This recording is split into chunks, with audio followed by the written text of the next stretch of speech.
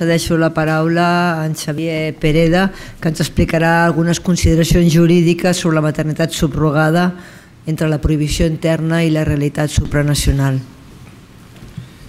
Moltes gràcies, bona, bona tarda a tothom. Agrair al Centre d'Estudis no només la, la gentilesa de convidar-me a fer algunes consideracions, perquè això és prou complexa com per no poder pensar gaire més, sinó perquè m'ha permès escoltar la Margarita i a la Josefina i també he après molt, vull dir, perquè en aquest tema, com en tants d'altres, és eh, sentint parlar als altres i escoltant-nos uns amb els altres que podem anar aprenent i evidentment que espero també que en el debat puguin haver eh, aportacions enriquidores per mi. No?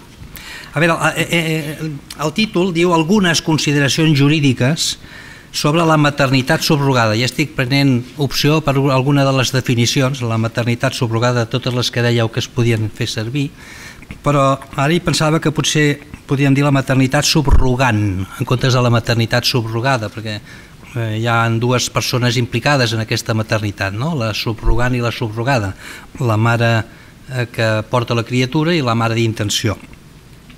I diu el títol entre la prohibició de la llei interna de la que ja s'ha parlat, l'article llei, article 10 de la llei de reproducció humana assistida i la realitat supranacional, el que ens ve des de fora, perquè aquestes maternitats eh, eh, es porten a, a terme en l'estranger i, i, i s'aboquen a la realitat nostra, però també hi pensava que a més a més de la supranacional també és la realitat nacional, perquè teni, tenim una realitat nacional subreptícia, diguem-ho així, o oculta, perquè no tothom eh, utilitza les tècniques de reproducció assistida amb centres reconeguts i conforme doncs, a les prescripcions legals i els controls que la llei estableix, vull dir que eh, no sé si heu sentit parlar del kit d'Amazon, per exemple, no? vull dir que és una de les possibilitats que, que està a, a la mà de tothom, un kit que et permet a tu mateix doncs, dur a terme una inseminació a casa teva, o, o això que parlàvem de la fira dels subrogants, no? de, o de les empreses que s'hi dediquen, o, o, o la problemàtica sobre la relació entre l'empresa que es dedica a promocionar aquestes, aquests contractes i el propi contractant. Hi ha una sentència de la secció 19 de l'Audiència Provincial de Barcelona que parla de que es tracta d'un contracte d'arrendament d'obra contracte d'arrendament d'obres, és a dir, que s'ha d'assegurar l'objectiu, és que vostè tingui la criatura, i si no l'aconseguim, doncs el contracte es resol i té unes conseqüències econòmiques que s'han d'indemnitzar, etc. No? O per últim, doncs, la perspectiva del món laboral, dels permisos o no permisos de, de maternitat en virtut de la gestació per subrogació. Ja, ja veiem, per tant, que no és només supranacional, sinó que és nacional, i ara jo em dedicaré, diguéssim, a, a obrir ventall de, de la complexitat del fenomen per després reconduir-ho als aspectes més purament jurídics. No? Deixo el tema de les denominacions, però cal ser molt conscients de que no són neutres, no? que dir ventre de lloguer significa darrere una ideologia o una manera de pensar determinada, com dir contracte de gestació significa una altra, bueno, com dir la maternitat subrogada o subrogant. Per tant, conflueixen moltes visions filosòfiques, polítiques, tenim un humanisme cristià per una banda, tenim un feminisme per una altra, per posar alguns extrems, concepcions ètiques o morals dels que, dels que heu parlat vosaltres, però també elements geopolítics, és a dir, quins països són els d'origen, qui són els de destinació, consideracions sociològiques, els grups d'homosexuals, especialment homosexuals homes, com a un grup de pressió important, i el concepte de grup de pressió no, no ha de fer por, i consideracions jurídiques pobretes, que són potser les últimes, doncs les que eh, em toca a mi desenvolupar una mica. No? Intentant obrir encara més el, el ventall, eh, té una, eh, tota aquesta problemàtica té una dimensió personal, però té una, també una dimensió de parella, té una dimensió familiar, té una dimensió social. Bueno, estem jugant amb un, jugant entre cometes, no? amb un material, diguem-ho així, molt sensible, en el que juga la vida, igual que quan parlem de temes de mort. Vull dir, són temes que ens toquen molt de prop i per tant són difícils d'entomar. Hi ha aspectes culturals, aspectes mèdico-psicològics dels que la Josefina ens ha fet esment, per exemple, no? com ho viu la mare gestant, quina és la realitat del fetus, del neonat, del pare, de la mare, el vincle... Per... Hi ha moltes perspectives que s'hi aboquen després al final per nosaltres amb una demanda de diferent tipus, una demanda que vol simplement el reconeixement d'una filiació establerta amb una sentència estrangera o la determinació de la filiació d'una gestació que s'ha produït a l'estranger, etc. És evident que aquí està prohibit, però també és evident que fora la gent eh, busca, busca camins. En tot això encara s'ha complicat molt perquè jurídicament i sobretot a partir de la sentència del Tribunal Suprem de l'any 2014, de la que després parlarem, doncs clar, aquí des del punt de vista purament jurídic es parla de molts drets, de molts valors i de molts principis.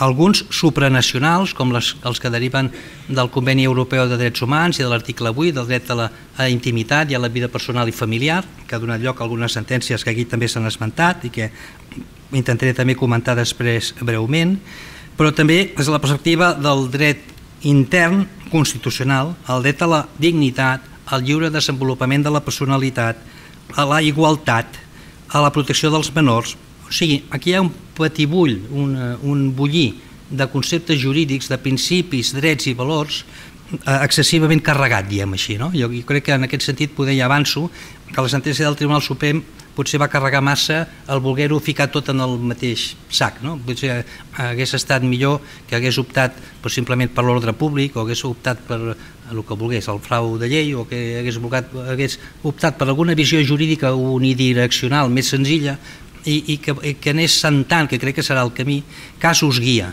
En aquesta problemàtica el que en defecte de legislació, que efectivament hem de fer la crítica que el legislador no s'hi mou, ni el supranacional, perquè el conveni de l'AIA, perdó, la conferència de l'AIA té els, els treballs paralitzats, ni l'estatal, perquè el Congrés dels diputats, tot i que el grup de ciutadans dos vegades ha posat en marxa avantprojectes de llei, està paralitzat, ni el Parlament de Catalunya, que està en, en una situació improductiva, en aquest canvi amb d'altres, dels que jo abans parlava a l'hora de cafè amb algun de vosaltres. No? Per tant, tot això jo crec que hem de fer baixar una mica la gassosa no? i intentar eh, afrontar-ho de forma una mica més, més eh, modesta, eh? perquè eh, tu deies pobres jutges i efectivament eh, Bé, eh, ens ha tocat, diguéssim, haver d'afrontar unes realitats de conflictes que eren impensables quan jo vaig entrar a la carrera judicial i que ens obliguen a metodologies de, de, de resolució de conflictes diferents de, la, de lo que ens havien ensenyat, que era allò del silogisme jurídic, no? que la llei diu que no està permesa la maternitat, vostè ha fet una maternitat subrogada, ergo conclusió, no, no li puc reconèixer els efectes. Això és molt més complexa i bé, és, és maco, és interessant, vull dir, és atractiu, no? però és complicat. Eh? Bé, llavors, a, a partir d'aquesta introducció i, i deixant a banda tot el tema dels permisos de paternitat, que ja, ja dic que hi ha una contradicció, per exemple, entre la jurisprudència de la sala quarta del Tribunal Suprem i, i la pròpia doctrina del Tribunal de Justícia de la Unió Europea, eh, amb algunes sentències del 2014, i, i, i amb la interpretació de la directiva sobre el principi d'igualtat d'oportunitats d'homes i dones en el treball. O sigui, ja des del punt de vista laboral hi ha, hi ha conflicte, en aquest cas invers, perquè sembla que la, la jurisprudència nacional és molt més permissiva i favorable i la jurisprudència del Tribunal de Justícia és més restrictiva i no reconeix, per exemple, doncs, segons quins permisos per adopció de la mare sub subrogant o subrogada. Subrogant eh?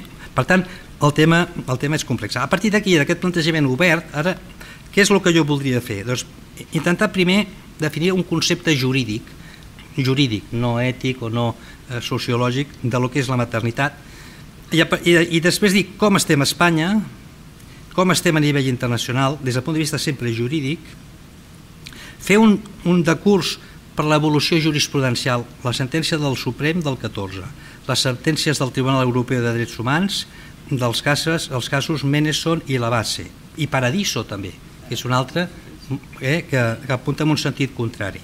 Una mica modestament el que ens hem trobat a la secció 18 de l'Audiència Provincial de Barcelona, que des de la perspectiva de protecció de menors, l'EAC adopció, tenim, protecció, tenim competència exclusiva, des de la perspectiva filiació, determinació de filiació no, perquè llavors es reparteix entre la 12 i la 18, però diu una mica el que ens hem anat trobant. Intentar després fer un epíleg sobre el cas Meneson, arrel de l'informe consultiu que va fer la CUT de Cassació, la, la Cort de Cassació francesa al Tribunal, i la sentència del Tribunal de Cassació francesa, la última, eh, en el cas eh, Meneson la base, Meneson, perdó, després eh, veure, intentar endivinar per on van els vents i, i, i acabar dient com hauria de ser una futura llei, perquè jo crec, evidentment crec que s'ha de fer una crida al legislador que legisli. Concepte, què és jurídicament la maternitat subrogada? Un contracte, jurídicament és un contracte, que cerca dues coses, dues finalitats. Primer, evitar la determinació de l'afiliació evitar la determinació de l'afiliació de la dona guió mare guió gestant. Aquesta senyora que no surti, que hi renuncia. Eh?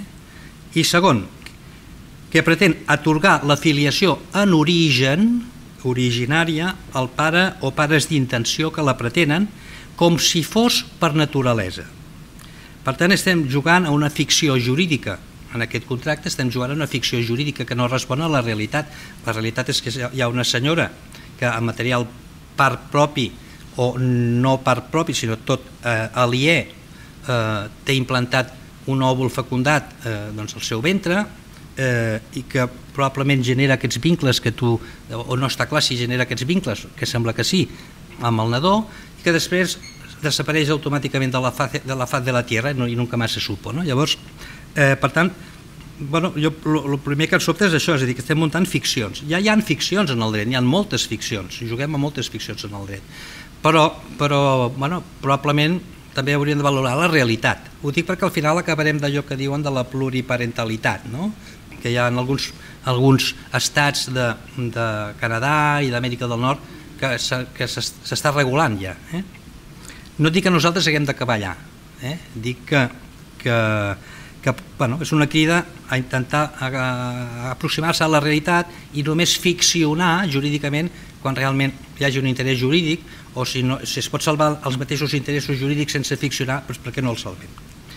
Val, per tant, hem definit una mica el que és el contracte i llavors hauríem de dir que, que hi han dos eixos o problemàtiques clarament diferents. La de la mare desconeguda, o sigui, ja pot ser que aquesta mare eh, de, de lloguer, diguem-ho així, que sigui desconeguda. I això planteja una problemàtica fosca que recorda doncs, des de les, del tràfic humà de nens, el cas de Guatemala, els robatoris de nens a l'època franquista, no? o sigui que llavors tot això és molt fosc, i aquí hi ha aquesta perspectiva que s'hauria de tractar jurídicament, fins i tot a nivell internacional i des de la perspectiva penal, perquè tenim també llei d'adopció internacional que davant d'una històrica proliferació d'aquests fenòmens doncs, va intentar canalitzar, i tenim eh, la situació de la mare real, eh, inscrita o no inscrita, però que és coneguda, eh, que renuncia a favor dels pares d'intenció.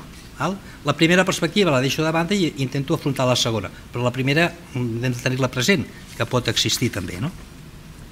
Bé, a partir d'aquí mm, podríem clarament diferenciar aquesta maternitat subrogada, ja ens entendrem ràpidament, d'altres diem figures jurídiques. No? Això no és una adopció, no és una adopció internacional, eh, no és ni tan sols una, un reconeixement d'una adopció privada, d'aquelles que encara teníem com subsidiàries, no? la cafala del Marroc i aquells pares que sense sotmetre's al procediment que establia, establia la llei el, i la de Gaia, no? amb el, el, el reconeixement de la capacitat d'afiliació. No, no estem en aquest context, però eh, hem de tenir-ho en compte. Tampoc estem purament davant d'un aspecte purament registral, tot i que això està marcant molt les vies, eh?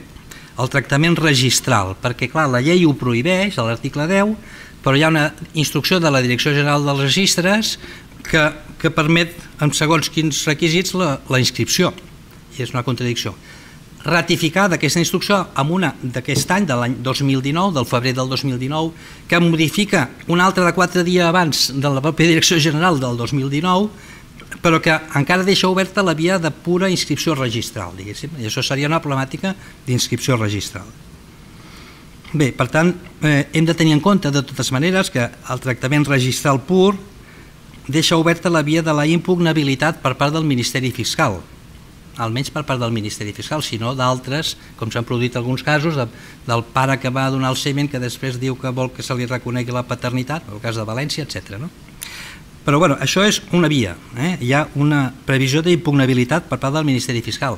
Per què? Perquè ara ho veurem, aquest contracte és nul, de ple dret, i la concepció de la nulitat de ple dret parla d'imprescriptibilitat de l'acció. I per tant, mm, aquesta espasa de Democles, diguem-ho així, sí que està una mica present amb tot això. Hi ha una altra perspectiva que s'ha de diferenciar, que és la perspectiva de la inscripció de la maternitat biològica, que és el que voldria el legislador espanyol, l'article 10, la mare biològica és la mare legal, eh, i de les accions de filiació del pare, que també ho diu l'article 10, que sigui el pare el que promogui les accions de filiació. Acció de determinació de la filiació. Eh, en quin context, en aquesta acció de determinació de la filiació, és evident que es poden plantejar problemes d'il·legalitat o de frau de llei o d'ordre públic eh, que, que els haurem d'anar resolent. Ja avanço que part d'aquests problemes estan orientats per la jurisprudència. Estic parlant des del punt de vista d'esquema general. I hem de diferenciar també els possibles casos no fraudulents o no contra ordre públic, o, o diem no fraudulents, és a dir, dos espanyols que viuen a Califòrnia i que accedeixen voluntàriament a la maternitat subrogada, bueno, com, es, com aquí no hi ha cap tipus de, de queixa de que s'ha anat a buscar eh, una, una, un embaràs fora d'Espanya, de, però hem de tenir en compte també que els reglaments comunitaris, quan ja parlem no només de països extracomunitaris, sinó països comunitaris, eh, tenim dos reglaments comunitaris que, que no són aplicables a quan el reconeixement d'aquestes filiacions. O sigui, el reglament 2201-2003 i el, 1000, el 2019-1111, que entrarà en vigor a continuació, aquests temes de, de reconeixement de filiació no entraran, per tant els de maternitat subrogada tampoc. Hi ha una altra perspectiva també diferencial, fixeu que estic fent una mica de, brainstorming de no, possibles eh, elements a tenir en compte, que és el, el tema del desemparament. El desemparament, l'acolliment, l'adopció i, per tant, una referència implícita al cas Campanelli del Tribunal Europeu de Drets Humans, del que després parlaré.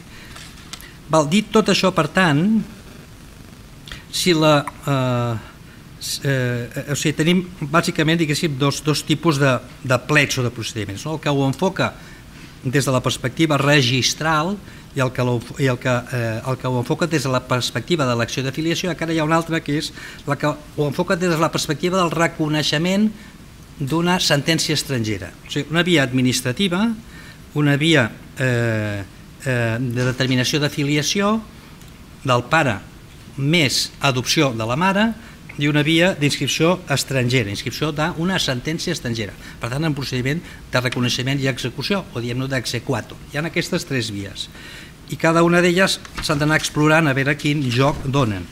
I cada una de les sentències que jo citaré doncs han intentat, eh, han actuat en alguna d'aquestes guies i no en totes. És evident aquesta incoherència del dret espanyol, és, és evident la contradicció entre l'article 10 i, i, i la, les, instruccions de la Direcció General. Ja he dit que nulitat del ple dret Eh, i eh, l'establiment de les regles de determinació de la maternitat i de la, la paternitat segons l'article 10 eh, eh, és el que hem d'estar nosaltres que és veritat que aquesta nulitat de ple dret no és d'aplicació universal, és a dir, no podem pretendre que el que el legislador espanyol ha dit que és nul sigui nul a tot arreu, però també és cert, com he dit, que la nulitat de ple dret, que històricament era la il·licitud, el 1255 del Codi Civil, els contractes que anaven contra la moral o contra l'ordre públic. Ara, lo de la moral està molt relativitzat perquè la moral avui es recondueix als contractes que lesionin drets i llibertats fonamentals, eh, per tant, dignes d'empara constitucional, o sigui, el que abans era eh, la moral va per aquí, i la remissió del, de l'ordre públic també va a l'afectació de drets fonamentals als contractes de contingut impossible o contraris a l'ordenament jurídic espanyol. Lo fonamental d'aquesta consideració de la nulitat del pre, de ple dret és que no és anul·labilitat que als 4 anys es convalida, que és nulitat i per tant no té plaç de prescripció eh, i per tant en qualsevol moment pot, eh, pot haver-se de revisar aquesta situació almenys des de la perspectiva teòrica de l'estructura de l'ordenament jurídic.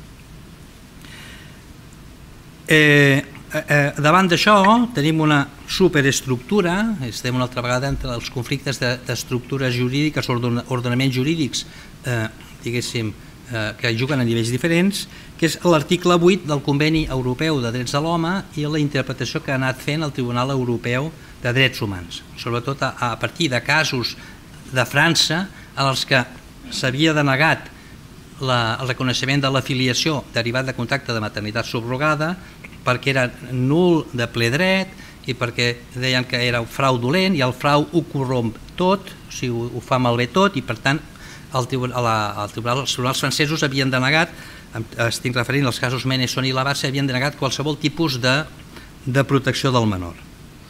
Ara veurem com el Tribunal Europeu ha anat obrint via eh, en, aquest, en aquest camí, però entre Espanya i l'ordenament europeu, diguem-ho així, del, del Conveni Europeu de Drets Humans, hi ha també aquest xoc, hi ha una altra vegada un xoc de maneres d'entendre, xocs de, manera, de maneres d'interpretar, cosa que des de la, de la perspectiva de la metodologia jurídica també s'està passant en altres àmbits, vull dir, quan ens ve el Tribunal de Justícia de la Unió Europea amb tota la concepció de les clàusules abusives, per exemple, ens desmunta tots els esquemes que teníem nosaltres sobre el contracte, no? i dius, bueno, però, però això és nul, és anul·lable, i no, no, dius, escolti, és que eh, ja estem jugant en un altre camp. Eh? Bueno, doncs en aquest, aquesta matèria també estem jugant a camps diferents. Les resolucions de la Direcció General del Registre, de, a partir de la de 5 d'octubre del 2010, permetien eh, l'accés al registre civil espanyol d'aquestes filiacions, d'aquestes filiacions derivades de contactes de maternitat subrogada quan un dels progenitors sigui de nacionalitat espanyola, no deia res respecte als que no ho fossin, quan sigui de nacionalitat espanyola, no diu específicament si s'ha d'entendre que ha posat el semen o ha posat l'òvul, no diu res des d'aquesta perspectiva, però sí a la perspectiva de preservar el dret del menor a conèixer el seu origen biològic. Per tant, s'obre una via, s'havia obert una via d'inscripció registral eh, pels espanyols eh, i en la perspectiva de que el nen a la llarga pogués saber el seu origen biològic. Això s'hauria de veure com es regula, perquè llavors la inscripció registral hauria de constar doncs, eh, eh, quin és l'origen biològic del menor. Això recorda molt el dret del nano adoptat a conèixer el seu origen quan és major d'edat, ja sabem que té tota una regulació processal i una sèrie de garanties, i sobretot quan és el nano ja major d'edat. Eh? Per tant, aquesta resolució, mm, eh, no diré contra l'EGEM, però sí mm, anacrònica, no respecte a la regulació legal, estava obrint doncs, totes aquestes vies, léase jurisdicció voluntària, eh? Eh, eh, via adopció, llegeixis intent d'inscripció directa en el registre civil central, bueno, i els que estaven afectats per aquestes situacions doncs ho van intentar. Dels primers que ho van intentar eh, va sortir la sentència del Tribunal Suprem de l'any de l'any 2014. Eh, Una sentència eh, jo crec que complicada, ja ho he dit abans, que, mm, bueno, que jo crec que avui ja està una mica superada i ara intentarem explicar per què. Només fer un petit incís final respecte a la instrucció de febrer del 2019, que deroga, o sigui, és del 18 de febrer que deroga la de 14 de febrer del 2019. Aquesta de 14 de febrer jo no l'he trobat al butlletí oficial de l'Estat, o sigui, va ser com una instrucció interna, eh, efectivament va néixer arran de la conflictiva d'un grup de famílies espanyoles que a Ucraïna tenien problemes doncs, per sortir del país eh, amb els, no, els nens diguéssim, que havien, que havien eh, diguéssim, tingut a través dels procediments de maternitat eh, subrogada. Aquesta instrucció sembla més rigorosa des de la perspectiva de demanar un control judicial, que és jo crec que una de les línies que s'està consolidant. És a dir, quan una d'aquestes situacions ens arriba a nosaltres perquè un tribunal estranger amb garanties semblants a les del tribunal espanyol ha constituït, ha reconegut la filiació, és diferent, radicalment diferent, dels procediments d'inscripció consular per via administrativa o d'inscripció en el registre civil en el país d'origen i la pretensió de que es s'homologui o que s'inscrigui en el registre civil espanyol. El fet que hi hagi un jutge que controli les garanties del procés, sobretot des de la perspectiva de la mare gestant, i de la configuració del seu consentiment, no ex ante, no en el contracte, sinó ex post, i, amb, i probablement amb uns terminis equivalents als de la legislació espanyola, en el nostre cas de la legislació catalana, que, que, que la mare no pot, no pot renunciar al fill fins que no han passat sis mesos des del fet del part, eh, eh, perquè hi hagi garanties de que està configurant bé el seu consentiment, doncs eh, això significarà un tracte diferencial bastant marcat, jo crec, d'un i altre cas. La realitat és que les vies administratives i registrals s'estan paralitzant i s'estan activant les vies jurisdiccionals. Estem, estem començant a, a, a, a trobar doncs, més supòsits de de peticions judicials de determinació de l'afiliació i aniran arribant, o de reconeixement de la sentència estrangera o eh, de reconeixement d'una adopció successiva del company del pare, eh? moltes, vegades, moltes vegades en parelles homosexuals. Bé, a partir d'aquí, per tant, es restringeix la via registral, jo crec que s'ampliarà la via judicial i això ens significarà més, més feina. No? Eh, fem una ullada a la situació internacional, això que es diu el low cost no? de, la, de les... Vosaltres heu parlat una mica, mm, simplement dir que hi ha, una, com heu dit ja vosaltres, hi ha una gran eh, varietat de situacions i que, bueno, que en alguns moments alguna de les sentències que puguin dictar els tribunals estrangers en algun dels estats, segons quines siguin les garanties i el, i el context, generarà un dubte raonable al jutge espanyol que haurà d'analitzar si realment aquella sentència és homologable per via d'exequator o si pot determinar l'afiliació o si concorre una excepció d'ordre públic o una situació de frau de llei. No? Eh, aspectes en els que encara no està despejat el panorama, no està encara obert, perquè hi ha, hi ha moltes, moltes situacions. Hi ha llocs amb activitat comercial lliure, hi ha llocs què es permet amb autorització, és, eh, via altruisme, ja, jo no, no, no baixo al detall perquè ja amb aquell mapa extraordinari que tu has exposat crec que queda prou clar. Hi ha llocs en el que es permet, quan hi ha un vincle genètic entre un dels progenitors i la mare de gestació, per exemple Israel, ho heu explicat el cas d'Israel, que també és paradigmàtic, hi ha llocs que es permet sota condicions respecte als pares intencionals. Ara bé, sí que cada vegada hi ha més dificultats, és a dir, Ucraïna no posava dificultats i les comença a posar, la Índia no posava dificultats i les comença a posar, Tailàndia no posava dificultats i les comença a posar. Queden molts països al món, eh? són 150 total, però vol dir que la cosa bueno, s'hauria de regular, s'hauria de regular. Clar, aquest menor nascut eh, que nosaltres hem de protegir, és l'altre aspecte, no? Respon des de la perspectiva d'afiliació a regles de, diferents segons cada país d'origen. No? I hi ha molts aspectes del nano que queden implicats, el dret a la identitat, única o no única, el dret a la nacionalitat, el dret a la protecció del menor, el dret a la filiació, enumerem-los només. No? Eh, des de la perspectiva del dret a l'afiliació, per exemple, la sentència del Tribunal Europeu de Drets Humans del cas Mendelssohn i el cas la, la base van venir a dir que era contrari a l'article 8 del Conveni Europeu des de la perspectiva del dret al, del menor a, a la seva a, intimitat personal que com a mínim no es reconegués que havent posat el material eh, genètic al pare, l'esperma al pare, no se li reconegués com a mínim al pare o sigui, no se li reconegués com a al fill un pare que el pogués protegir. Eh? Eh, però mm, bueno, després mm, veurem com, com ha anat evolucionant tot això. No? He parlat de la sentència del Tribunal Suprem, ja l'hem criticat, jo crec que no val molt la pena entrar a fons amb ella, només dir que efectivament eh, aplica l'excepció d'ordre públic internacional. Després de la sentència del, del Tribunal Suprem, nosaltres vam tenir una amb la que vam aplicar la doctrina Meneson i la doctrina La Base i vam acceptar, en aquell cas concret, eh, eh, jo crec que és molt important tenir en compte les circumstàncies concret, les concretes a cada supòsit, perquè aquí anem a supòsits que vam acceptar la, la, la paternitat. Després va venir l'autodeclaració del Tribunal Suprem de l'any 2015, que eh, després de les sentències del Tribunal Europeu va confirmar la seva tesi de que és excepció d'ordre públic internacional. I va dir és que França és diferent, perquè a França eh, no tenen altres camins i nosaltres ja hem dit que pot haver camins, que pot haver l'adopció, que pot haver altres camins. Ve a, a apuntar la possibilitat d'anar cap a l'adopció. Però després de tot això va venir una altra vegada el Tribunal Europeu de Drets Humans en el cas Campanelli contra Itàlia.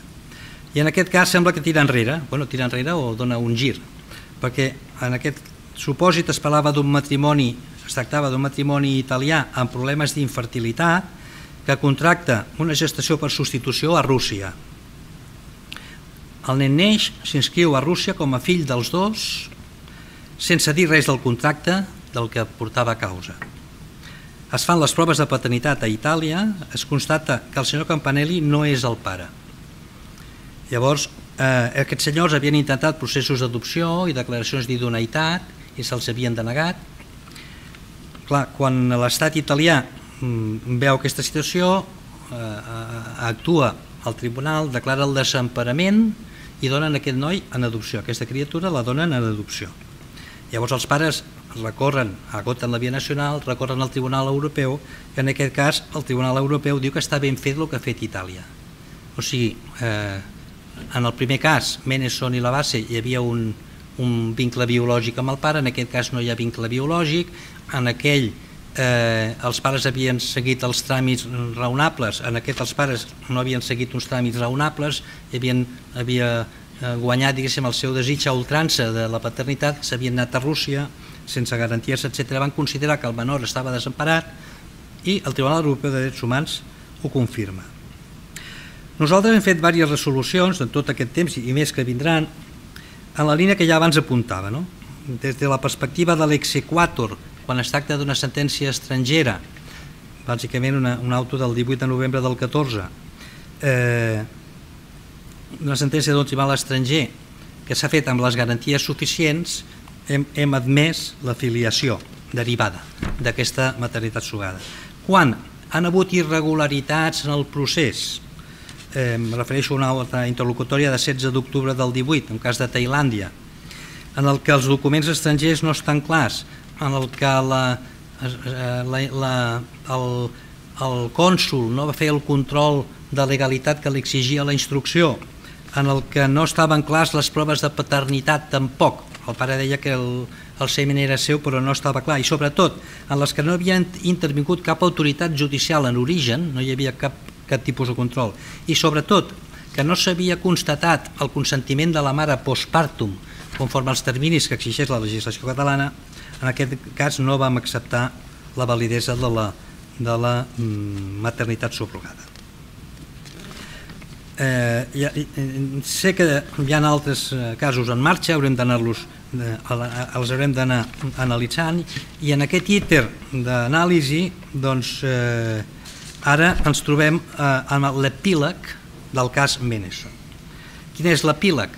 L'epíleg és que les dues filles, que ara ja van ser majors d'edat, van presentar una demanda dient, escolti'm, nosaltres volem que, i la mare també, que se'ns declari a nosaltres filles de la meva mare i, la, i que la mare volia que se li declarés mare de les filles. No?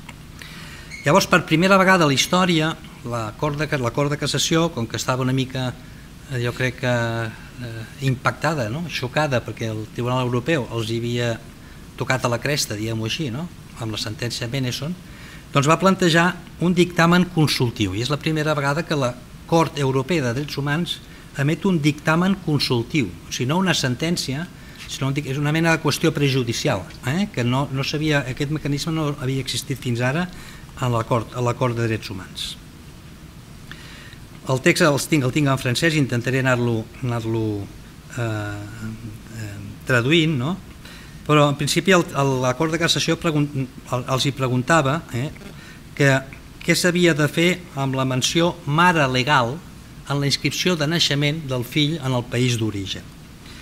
Eh, I si mm, s'havia de reconèixer el, el, el, el lligam de filiació o no s'havia de reconèixer el lligam de filiació entre el nen o les nenes i la mare d'intenció. I després els va preguntar si, eh, eh, si eh, era obligatori o no transcriure sobre els registres de l'estat civil francès l'acte de naixement establert a l'estranger. Això, eh, la Regina parlava d'un cas que ara eh, aquesta sentència s'hauria de tenir en compte per, aquest, per aquesta via, o si d'altre altre camí hauria de ser el camí de l'adopció.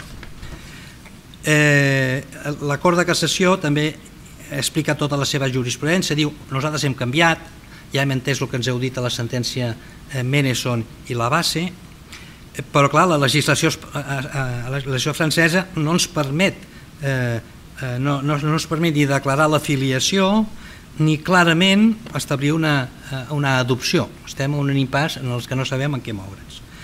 I, i llavors la, la, la, el Tribunal Europeu de Drets Humans els diu, bueno, està clar que respecte al pare ja vam dir que hi ha un, un lligam i tal, respecte a la mare, el que és contrari a l'interès del menor, diu, és que durant un període tan llarg, o sigui, des de que es va eh, consolidar la relació familiar, no? quan les nenes eren petites, fins ara que ja tenen 18 anys, és contrari a l'interès del menor aquesta incertesa durant un període de temps tan llarg. Llavors vostès eh, és contrari a l'article 8 del Conveni Europeu de, de Drets Humans i aquí ho deixa, no hi entra més enllà. Llavors l'acord de cassació bueno, raona, es pot llegir la sentència amb calma, eh, eh, el Tribunal eh, Europeu diu que a més vostès tenen vies alternatives, no? tenen l'adopció i tenen altres vies. I, el, I la sentència del Tribunal de Cassació, que és de 4 d'octubre d'aquest any, 4 d'octubre del 2019, bueno, fa una cosa molt curiosa, no? perquè diu, bueno, si em diuen que amb la menció de mare legal en la inscripció de naixement originària eh, eh, hi ha una aparença de vincle eh, i que és contrari a l'interès del menor, que jo no, no, no d'alguna manera no ho solucioni, doncs bueno, ho solucionaré. I com ho solucionaré? Doncs, bueno, diu, no, no estableixo una adopció perquè no la puc establir conforme a la legislació francesa, no reconec una afiliació per possessió d'estat, perquè no puc reconèixer-la conforme al requisit de la legislació francesa. No estimo una acció de nulitat de la inscripció registral francesa, que és el que demanava el Ministeri Fiscal. Simplement constato la transcripció. En interès del menor, constato la transcripció, o sigui, constato que s'ha de eh, transcriure la menció de mare legal en el registre civil francès. M'explico? És a dir, això ens trenca una mica tots els esquemes. O sigui, no podem ni adoptar, perquè s'hauria de canviar la legislació de l'adopció, que és el que ens ha passat a l'últim dels autos que jo he dit a la sala, que no, no, no complia els requisits, no podem adoptar, no podem reconèixer en França l'afiliació per possessió d'estat, perquè no compleix els requisits, eh, no podem estimar l'acció de nulitat de la inscripció registral, que és la que pretenia el fiscal, perquè seria contrari a l'interès del menor, i simplement constato que la, transcripció mare legal està allà. Llavors, la, la mare s'ha donat per satisfeta, perquè considera soc la mare legal, les filles s'han donat per satisfetes perquè nosaltres som les filles legals, i aquí s'ha quedat. Clar, en el fons, què és el que hi ha aquí al darrere? Hi ha una, eh, una impossibilitat del poder judicial d'anar més enllà del que la llei estableix, perquè si no ens convertim nosaltres en legisladors. Eh, ens diuen l'interès del menor, per aquest cas, repeteixo, en un llarg període de temps, eh, ens obliga a, a seguir aquesta doctrina del Tribunal Europeu, l'única manera que trobem de, de, de respectar aquesta doctrina és, és dir això. No podem eh, alterar les institucions nacionals eh, perquè és el legislador el que hauria de fer, però hem de protegir el menor reconeixent, constatant que aquesta transcripció és, està en el registre civil francès i per tant la mare figura com a mare legal i cadascú que ho entengui com vulgui. És una mica eh, una, una solució bueno, probablement no, no sé si era fàcil de trobar-ne una altra, eh? perquè tal com estem... Mm, eh, llavors, quins són els béns que venen, els últims béns que hi arriben, no? a partir d'aquí? Bueno, els últims béns continuem amb la lluita aquesta de la privatització versus eh, Ah, sí, sí, vaig acabant. Privatització versus eh, interès general, diguem-ho així, no? que va per la via de l'ordre públic internacional. Continuarem lluitant en aquestes alternatives. Des de la perspectiva de la privatització hi ha arguments, des de la perspectiva de l'ordre públic internacional també.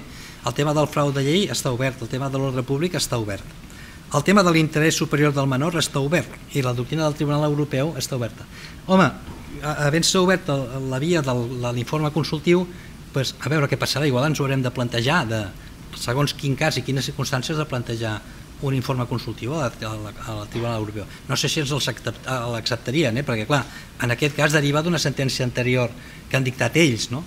però alguna cosa haurem de fer. Eh, per tant, mm, el tema continua obert i continua obert inclús des de la perspectiva de la pluriparentalitat, que això és el que, la, el que ens està arribant. No? Colúmbia Britànica 2013, al Canadà, Califòrnia 2016, Ontario, Canadà 2016, estan, han tingut regulacions legals en què s'accepta la validesa dels acords privats, també la legitimitat de la renúncia del donant d'esperma, però també admeten fins a dos mares i fins a dos pares, o fins a quatre pares o mares. No sé si m'explico. O sigui, que es pugui reconèixer la realitat jurídica de la paternitat o de la maternitat a més d'un home o a més d'una dona. Clar, això eh, obliga a fer reflexions perquè mm, clar, aquestes quatre o tres persones seran responsables del fill, adquireixen unes responsabilitats, no només uns drets, sinó unes responsabilitats. És un tema interessant, o sigui, el tema aquest del dret al propi cos, a disposar del propi cos, està molt bé, però també hi ha la responsabilitat de disposar del propi cos. No, jo ara estic fent una mica de ciència-ficció, eh? estic parlant en, en context distòpic, eh? però eh, bueno, això és, és suggerència més no, és a dir, vostè vol donar l'esperma, bueno, vale, però a veure, fins ara pot ser donant i se n'oblida de tot. Vostè vol donar l'òvul, vostè vol anidar l'òvul, bueno, bueno, si reconeixem que són més d'un pare i més d'una mare, el tema de la responsabilitat de, respecte al fill s'obre. I el tema de la responsabilitat del fill respecte als pares s'obre, perquè quan siguin vells els pares, el fill és el responsable de cuidar-los a, a tots quatre. Bueno, estic, ja dic que estem en un àmbit distòpic aquí, eh? A veure, en el fons, què, què passa? Que és que s'ha de regular això senyor s'ha de regular. Sí, conferència de l'AIA, posin-se les piles. Parlament espanyol, posis les piles. Parlament català, posis les piles. No ens ho deixen els jutges perquè ja veieu que a vegades als jutges se'ns pot anar una mica la, la capacitat de raonament. No, jo crec que serem capaços de reconduir-ho. No? Per tant, eh, bé, pas a pas i cas a cas, aquestes són una mica les pautes que anem tenint, eh, anirem analitzant, no hi ha encara una solució ferma, haurem d'anar presentant jo crec que millor a nivell de Tribunal Superior de Justícia o a nivell de Tribunal Suprem casos guia. Casos guia. I dic, aquest és el cas prototípic. I aquí els, els criteris són aquests els valors són aquests. El cas guia de l'any 2014 no ens ajuda molt. I em fa l'efecte que és una mica distorsionador. Distorsionador perquè eh, volguer, eh, jo comprenc que clar, la realitat legal positiva és molt escassa, que, que la, la, la norma, diguéssim, norma legal o norma jurisprudencial és molt recent, però no podem ficar en el mateix pot 10 drets fonamentals, bueno, com a màxim posem dos no? que entrin a conflicte i entrarem en el tema de la ponderació de drets fonamentals i el test de constitucionalitat o el tema del, de, del dret Wirkum, no? fins quin punt ens podem ficar la vida dels particulars o no, però si ho fem molt obert i molt complexa no hi arribarem. Per tant, una crida al legislador doncs, perquè ens ajudi una mica tots a tot això. Gràcies.